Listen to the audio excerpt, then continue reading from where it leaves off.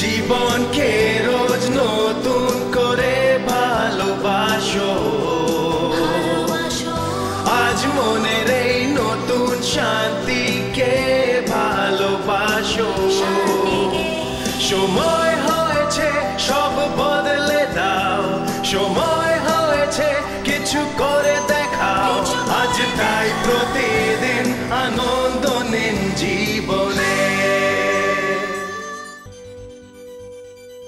প্রতিদিন আনন্দ নিনে আপনাদের স্বাগত। আমি চাইব যে আপনারা আসুন।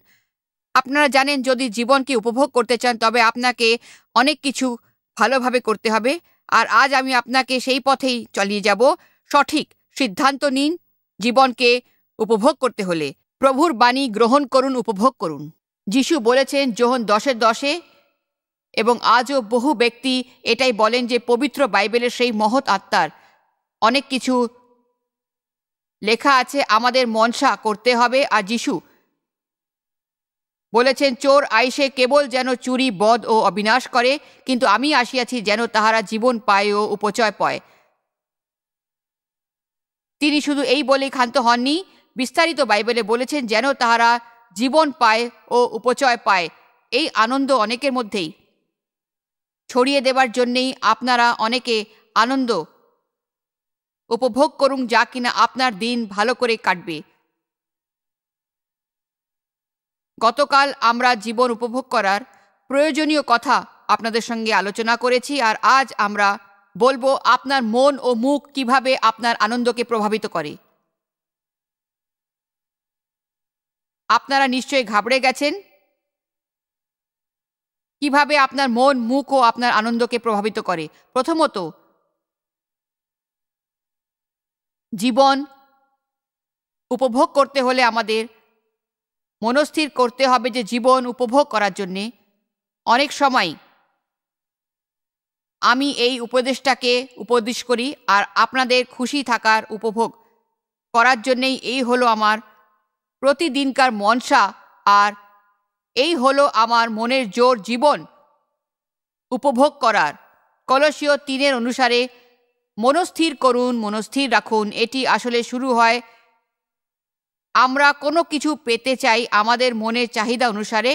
আর যদি আপনি যিশুর মতো পুনঃস্থিত হতে চান, আপনার চাহিদাও যিশুর ন্যায় অপর্থ হবে, যেখানে খ্রিস্ট এখন কিছু চান না, যা অধর্মীয়। আপনারা অনেকেই জানেন, যদি কিছু আপনারা চেয়ে থাকেন, বহুদিন ধরে তবে আপনিও পাবেন।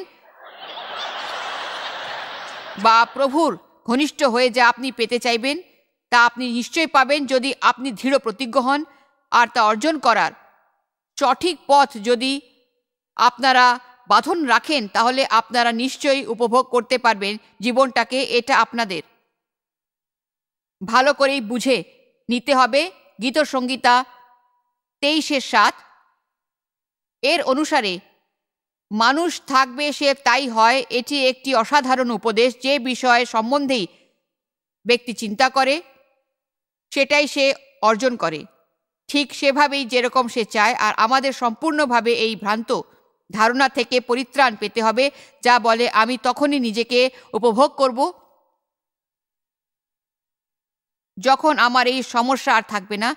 আমি খুশি হব তখন যখন আমি কিছু বলতে চাইছি এবং চাইছি না আপনাদের নিরুৎসাহিত করতে, কিন্তু যেখানেই এই বিষয়টি নিয়ে আপনারা মুখোমুখি হবেন, আপনারা কিছুটা হলেও দ্বন্দ্বদান স্থগিত রাখবেন, যার ফলে অন্য কিছু উঠে আসবে আপনার সামনে। আমি নেতিবাচক কিছু করতে চাই না, কিন্তু এই বলতে চাই যে জীবনের পথটার সম্বন্ধে আমরা বিভিন্ন পরিস্থিতির সম্মুখীন হই, আর আমরা সর্বদাই এমন বহু জিনিসের মুখোমুখি হই যা ঘটে যেতে হবে। এবং যার জন্যে আমরা প্রস্তুত থাকি না। কোনো একটা সুন্দর বিষয় বা কোনো দুর্ঘটনা আমাদের যথেষ্ট পরিণত হতে হবে যাতে আমরা যে কোনো পরিস্থিতিতেই অবিচলিত হতে পারি না এবং সেটাই হলো আমাদের সবচেয়ে বড় কথা।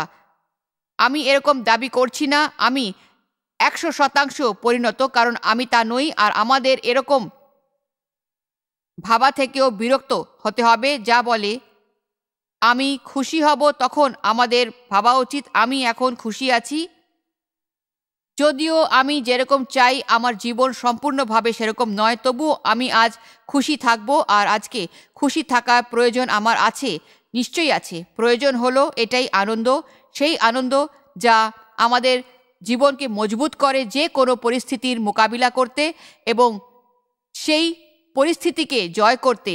এটা একজন খ্রিস্টানের কাছে যথেষ্ট তৎপর্যতায় যে সা কোনো পরিস্থিতিকে সাধারণভাবে অতিক্রম করবে না বা বিজয়ের মতো অতিক্রম করবে। আর সেজন্যেই পবিত্র বাইবেল বলে, সব কিছুর মধ্যে আমরা বিজয়ী থাকব কিছুটা বেশি। পৃথিবীতে তার অস্তিত্বের থেকে মহৎ আর আমি খ্রিস্টের মাধ্যমে সব কিছু করতে পারি। কারণ তিনি আমাদের শক্তি যোগান, আমাদের চারপাশে যাই ঘটুক না কেন, আমার আধ্যাত্মিকভাবে উৎসাহিত করতে হবে আর আমাদের অবশ্যই আনন্দিত থাকতে হবে। এর মানে এই নয় যে আমাদের পথ সর্বদাই মসৃণ হবে, কখনোই খারাপ সময় আসবে না, কিন্তু এটা অবশ্যই যে আমাদের জীবনটাকে ভালোভাবে কাটাতে হবে। তিনি শিখেছেন প্রতিটা অবস্থার মধ্যে দিয়ে তিনি বলেছেন, যদি আমার পেট ভরে যায়, তাহলে আমার আর খেতে ইচ্ছে করবে না। এটা অসাধারণ, যা আমাকে আশার আলো দেখিয়েছে আর আমি হয়তো এখনও লক্ষ্যে পৌঁছনি কিন্তু চেষ্টা করছি যে আমি সেটা পাবো। রোমিও আটের এই পথ নির্দেশন রয়েছে। উপদেশটি আমাদের শেখায় পরিস্থিতির সম্পর্কে আমাদের মনোভাব কি? আমি মনে করি যদি এরকমভাবে আমরা ভাবি, তবে আমাদের ভাবনা চিন্তায় আমাদের মনটাকে ভালোভাবে তৈরি করতে সাহায্য করবে, এটা অবশ্যই খুব দরকার। অন্যদিকে আমাদের ভাবনা চিন্তা ঠিক করে কীভাবে আমরা কোন পরিস্থিতির মুখোমুখি হব বা তা সম্বন্ধে আমাদের মনোভাবটা কি হবে? আর আমার স্বামী একজন সুখী মানুষ, তিনি ক্রমাগত আনন্দ উপভোগ করেন। সে আমার থেকে অনেক কম দিন রেগে বা দুঃখে বা হতাশ হয়ে জীবনটাকে কাটিয়েছে।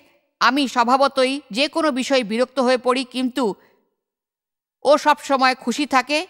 আর সে বলে, যদিও এ ব্যাপারে তুমি কিছু করতে পারবে না, তবুও যদি কিছু করার থাকে করে ফেলো, উপভোগ করো। এসবই আমার হতে ভালো লাগে, কিন্তু তা মানতে ওর থেকে একটু বেশি সময় লাগে। ডেভের এরকম হওয়ার একটা কারণ হলো যে কোনো পরিস্থিতিতেই সে মানিয়ে নিতে পারে, কোনো কিছু না করে, কোনো দ্বিধা না করে। আর আমি ডেভকে বলি, যদি তুমি প্রচারক হতে হবে, তাহলে তুমি কারণ এই উপদেশটি সেই সমস্ত জায়গাতেই মানিয়ে যাও ডেভ যেটা জানে। রোমিও আটের আটাশে। এটা রয়েছে। আমরা নিশ্চিতভাবে জানি প্রভু তাদের পরিশ্রমের সাথী হিসেবে তাদের কাজ ভাগ করে নেবেন এবং একটি সৎ উদ্দেশ্য গ্রহণ করবেন। তাদের জন্যে যারা প্রভুকে ভালোবাসেন, তাই ডেভ বলে সবসময়। সব কিছুই ভালোর জন্যে হয়, যা হয় তা ভালোর জন্যেই হয়। সে আরও একটা উপদেশ দেয়, আমাদের সমস্ত চিন্তা প্রভুকে অর্পণ করো। দুটো উপদেশ। নিজের চিন্তা প্রভুকে অর্পণ করো, পবিত্র বাইবেলের নির্দেশ। নিজের চিন্তা প্রভুকে অর্পণ করো, যারা প্রভুকে ভালোবাসেন তাদের সব কাজই ভালোর জন্যে হয়। অবশ্যই আপনারা প্রভুকে ভালোবাসেন। যারা প্রভুকে ভালোবাসেন এবং প্রভুর উদ্দেশ্য সফল করার চেষ্টা করেন, তারাও প্রভুর ইচ্ছাকে নিজের জীবনে পেতে চান। এবং আমি তাই বিশ্বাস করি এবং আমি দৃঢ়ভাবে বলতে চাই, আপনারা যারা এই অনুষ্ঠান শুনছেন আজকে যারা অনুষ্ঠানটি অনুভব করছেন, যতক্ষণ না তারা প্রভুর সাথে থাকতে চাইছেন, যতক্ষণ না তারা তার জীবনে কোনো ভালোভাবে পরিবর্তন আনতে চাইছেন এবং বিশেষত তাদের যারা এই অনুষ্ঠানটির জন্য সময় বার করেছেন, তাদের বলি প্রভুকে ভালোবাসুন, তার ইচ্ছেকে মর্যাদা দিন, তাকে ভালো না বাসলে কোনো কিছুই হবে না। তাই আবার বলি যে প্রভুকে ভালোবাসুন, তার ইচ্ছাকে মর্যাদা দিন, তাহলেই সব কিছু ভালোভাবে পাবেন আর জীবনটাকে উপভোগ করতে পারবেন।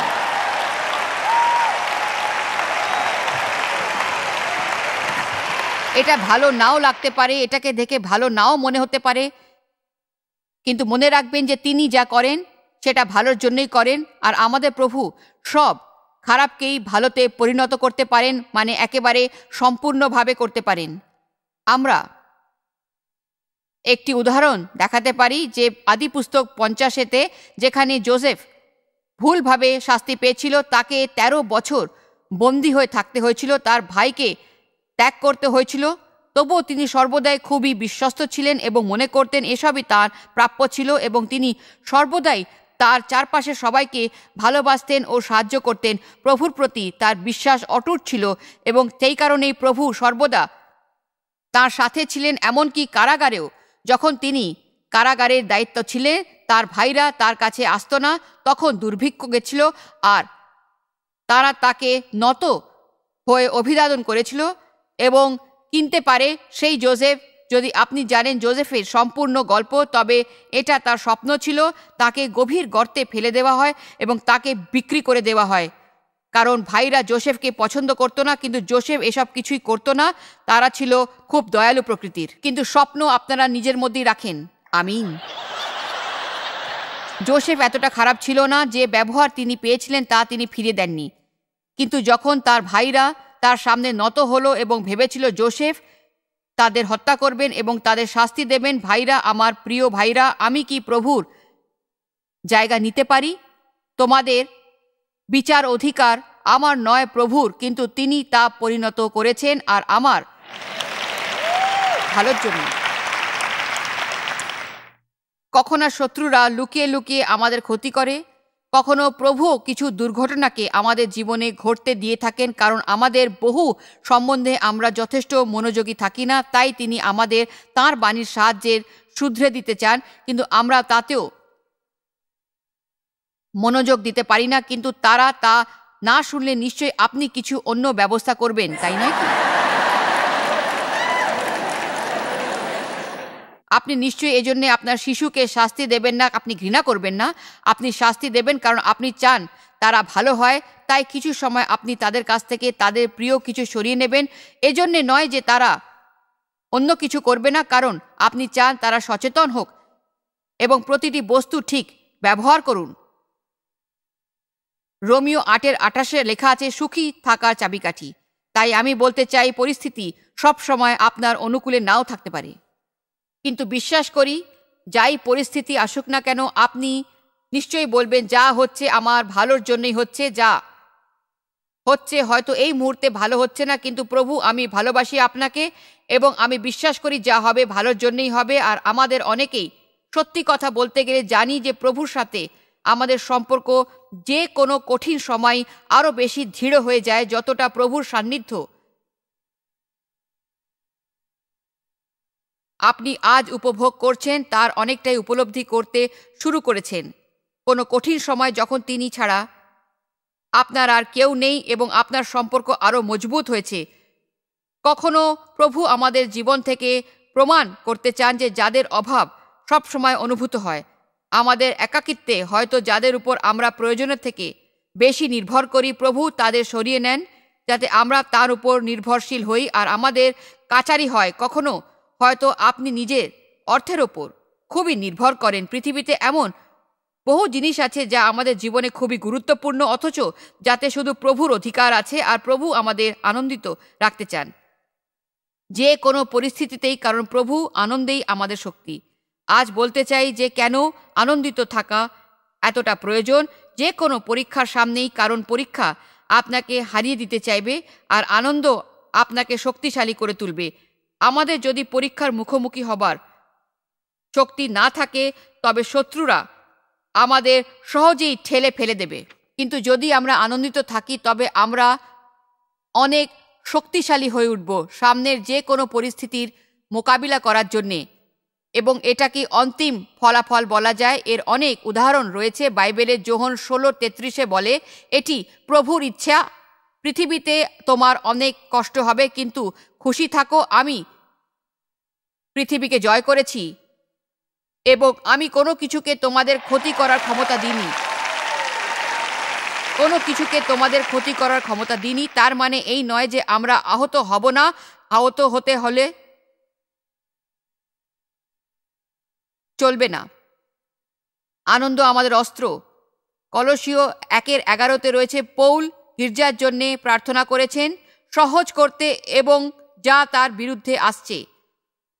আমাদের সাথে। তাহলে আমরা আবার দেখি পৌল বলেছেন, তোমরা বিচারের মুখোমুখি হবে, তোমরা দুঃখ, কষ্ট সহ্য করবে, আমি তোমাদের সাহায্য করছি, আমি তোমাদের সাহস দিচ্ছি।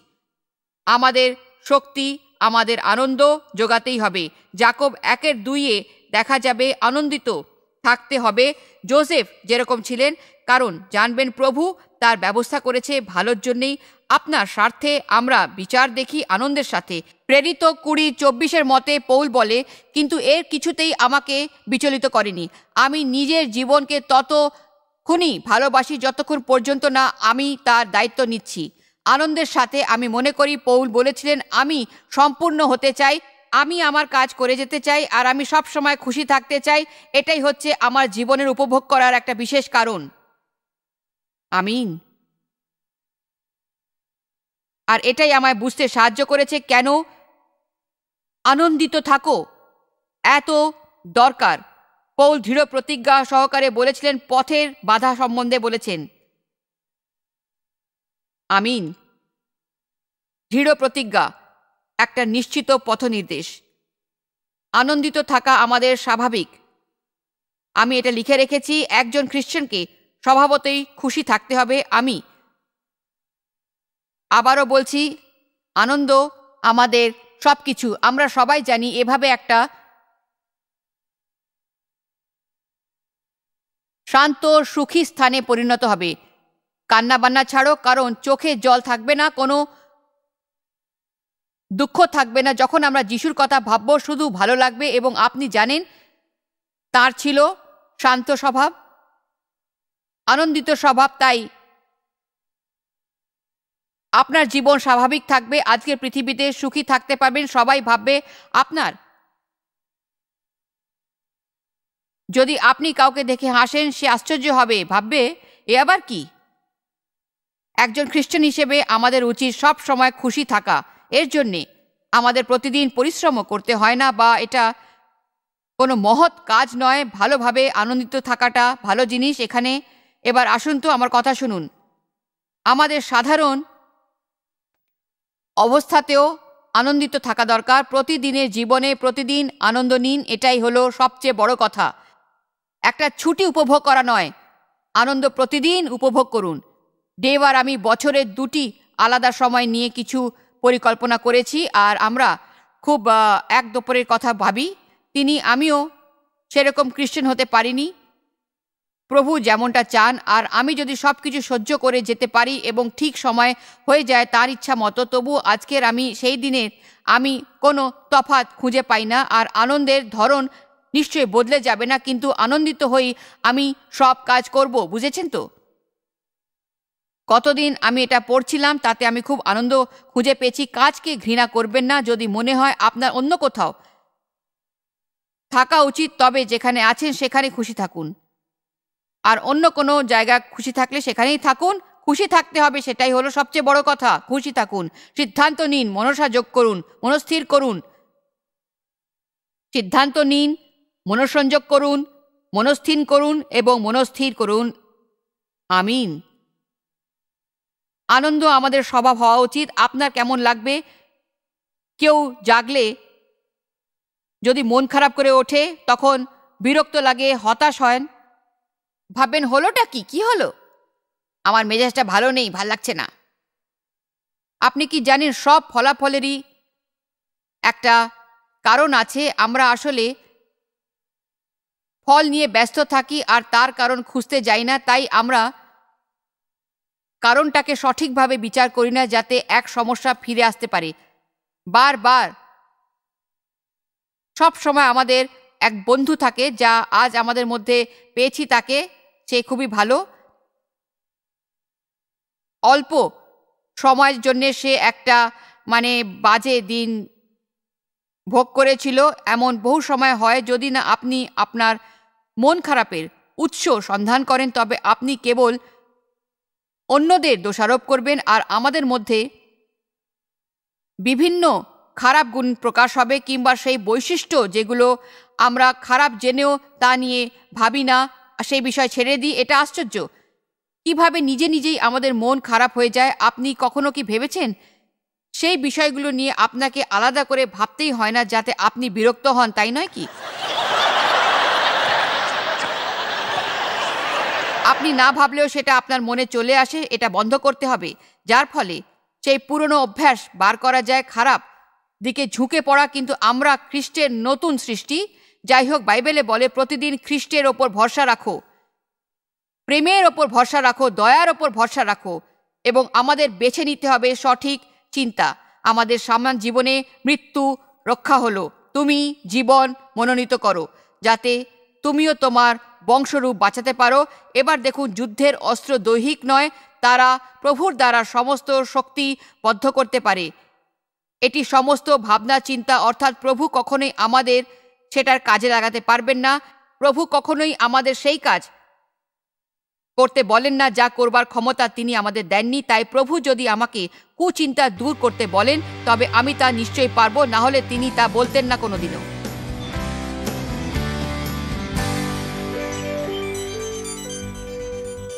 আপনারা ভাববেন, কীভাবে জীবন উপভোগ করব আমি জয়েস? আপনি বুঝবেন না, আমার কি অবস্থা চলছে? আচ্ছা জানেন আমি বুঝতে পেরেছি আমার মতে প্রায় প্রত্যেকের জীবনে এরকম কিছু না কিছু ঘটতেই থাকে, আর গত সপ্তাহে আমার জীবনে এমন তিন তিনটে ঘটনা ঘটেছে যা অনায়াসে আনন্দ চুরি করে নিতে পারত, কিন্তু আজ সবগুলোই আমি সামলে উঠেছি, সব মিটে গেছে, আর তার ফলাফল আমার কল্পনার থেকেও অনেক ভালো হয়েছে।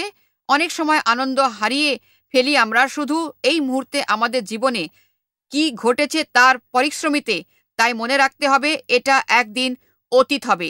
তাই আজ আপনাদের বলছি, জীবন উপভোগ করু, বাকি চারিদিভোগ করো।